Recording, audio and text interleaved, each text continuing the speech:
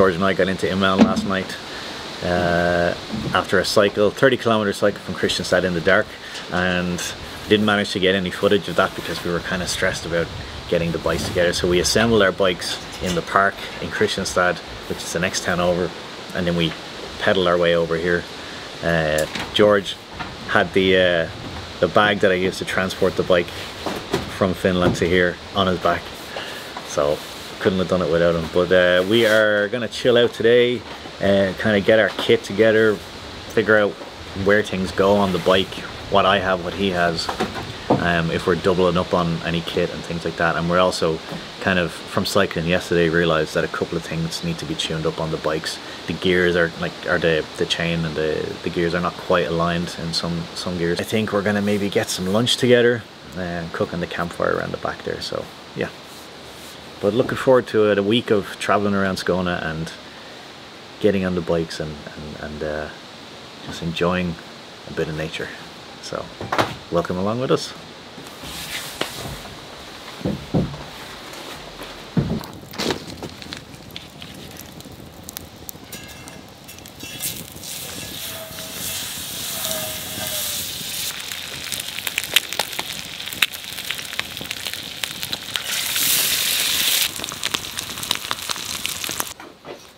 Just to feel good, wise.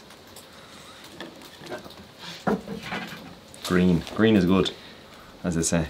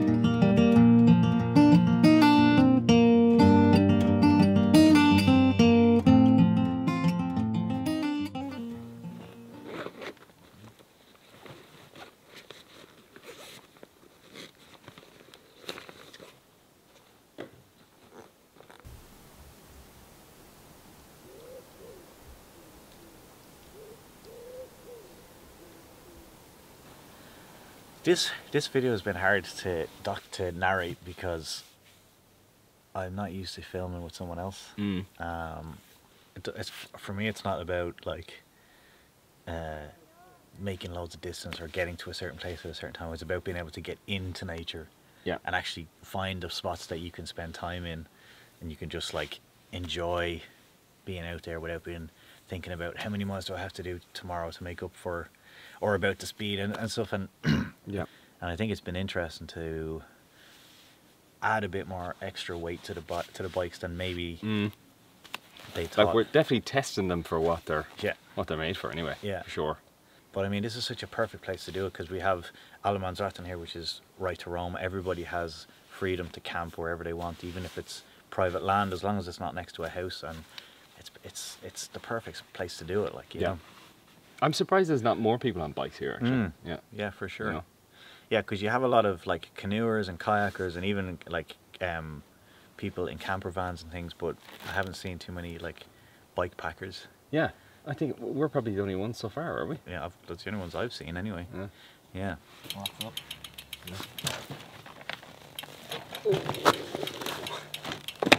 Healthy arse. Good actually. It's not getting too much. No. Huh?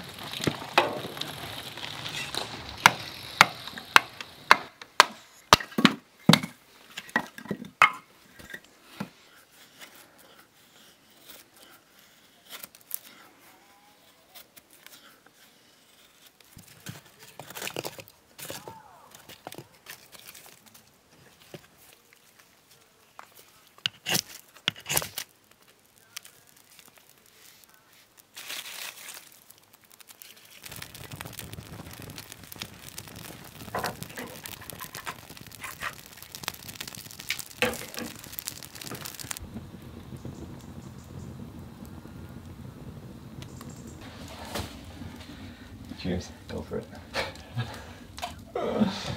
Awful dodgy sound coming off that one, isn't it, when you hit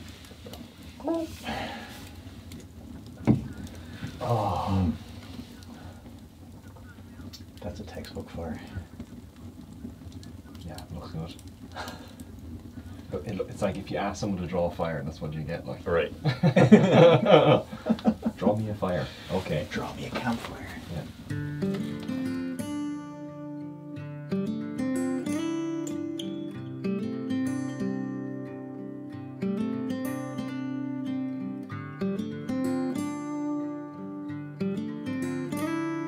George and I opted to use the canoe centre as a base camp, spending a day or two on the trails before heading back to recharge our batteries and consolidate our kit. Our bike bags had a pretty lightweight setup, but with the store close by, we could restock our food and decide what we wanted to cook that night, rather than carrying a week's worth of food with us. We got some swimming in too, taking advantage of the warm, fresh waters of Lake Immeln in August.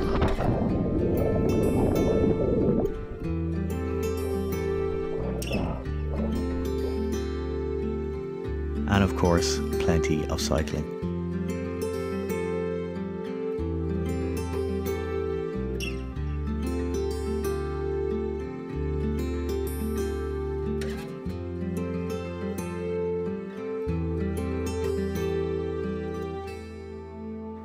More than 70% of Sweden's land is covered in forests. Thousands of miles of forests and trails just waiting to be explored. All of which is freely accessible to anyone thanks to Allemansrätten, Sweden's freedom to roam laws which came into effect in 1994 and are such an integral part of people's relationship to nature here.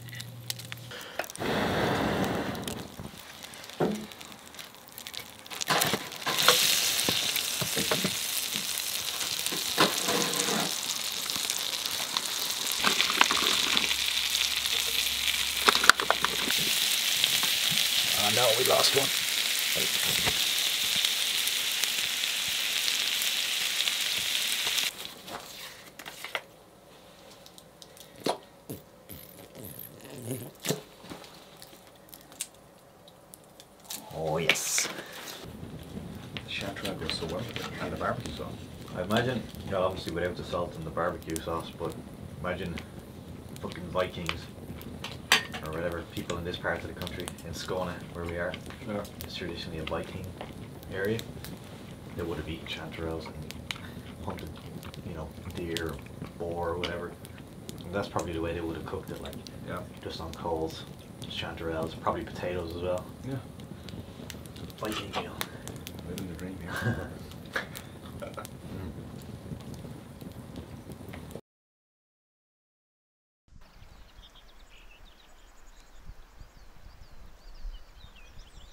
So it's um, what day? Wednesday. Uh, day four. How long are we here now, George? We're here since Sunday, so day yeah, day four essentially. Been getting lots of nice cycling in and seeing the area, getting some nice food eaten and some campfires, and quite a bit of cycling during the day but we thought today we'd change up the pace and uh, take some canoes out on the lake. So we're on our way to the shop now to buy the ingredients for our, our dinner tonight. So I think tonight, um, we're gonna make some hot dogs on the fire. Mm-hmm. Right, sausage. We got some traditional Swedish classic Grill corv. Grillkorv. grillkorv. Okay. Rustle up a few of these boys with some nice mustard. Johnny Sienna. I think this is going to be quite nice. This is one I prepared earlier. No, this, is, this is one we're preparing later. Um, and yeah, this should be good. I think that'll be quite an experiment. Absolutely. See how we get on.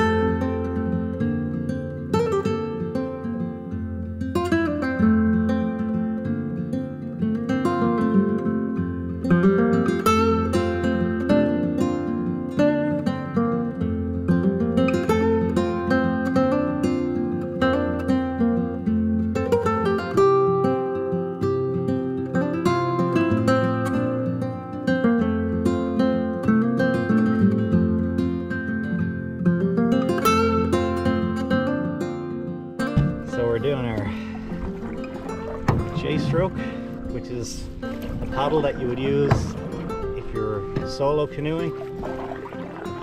And you're basically making a J shape in the water and it corrects you and keeps you straight. So if I was just paddling like this, eventually I'm gonna go to the left here. But when you turn your wrist down, put your paddle out like this,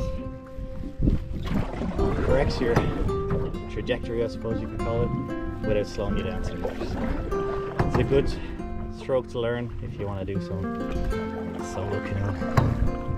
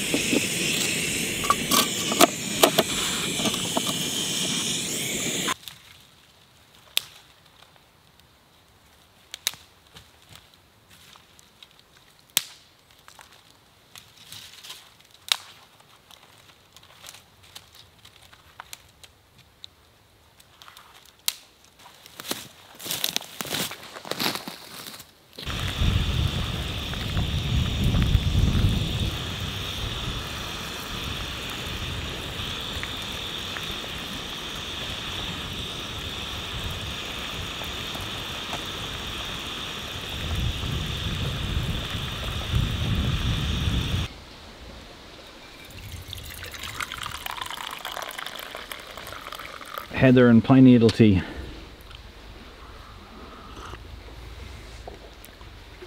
It's good. You like it? I like it.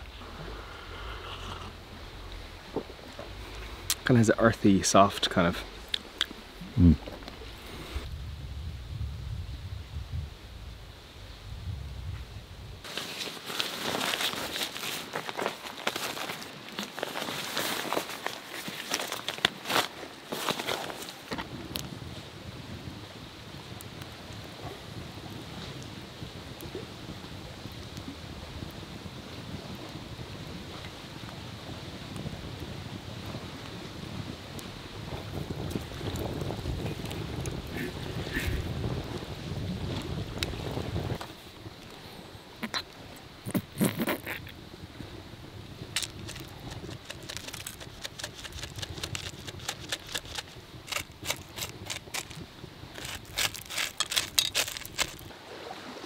You're so fucking onions.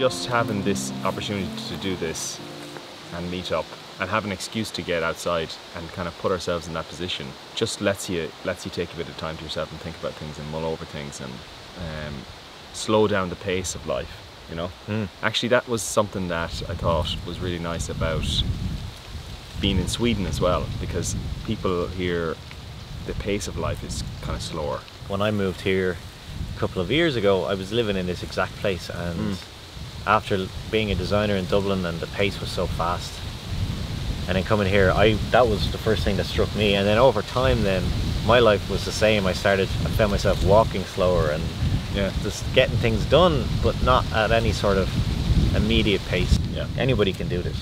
You know what I mean? A couple of nice, you know, capable bikes have been able to pack your stuff on.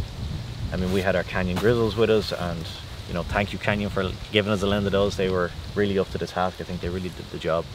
Um, so they were fantastic. And also thanks to John and Linda in Inbound Canoe Centre who allowed us to kind of have a bit of a base camp Yeah. over the week. that was really nice for sure yeah Highlights. Um, I think when we when we canoed on what was it Wednesday, canoed out, set up camp on the island. Where we're kind of had our had the whole place to ourselves. Even like today, you know, it's just like there's no one around. No. it's completely it's wilderness. You know. Yeah, and so it was really cool to kind of catch up again and kind of, kind of uh, see what we've been up to over the last because we haven't seen each other in what Yeah. maybe five years, Five years, yeah. something like that. Catching up and seeing. That's also my highlight as well. Yeah. Oh yeah, sure, sure. Now that you said it, that's my highlight. right, You know. right. Yeah. Actually, I changed my mind. I changed my mind. Yeah. Dream is over No. for now. Well, I don't have a watch. I was gonna say. a few hours left in the day. So, but thanks for watching, guys. I hope you enjoyed the video and let us know if there's anything else you'd like us to see us do in the future. Maybe give Canyon a little, uh, a little nudge. Yeah, that's a good point. Yeah, Yeah. get Yeah. these guys out again. Yeah. All right, guys. Thanks for watching. Take care.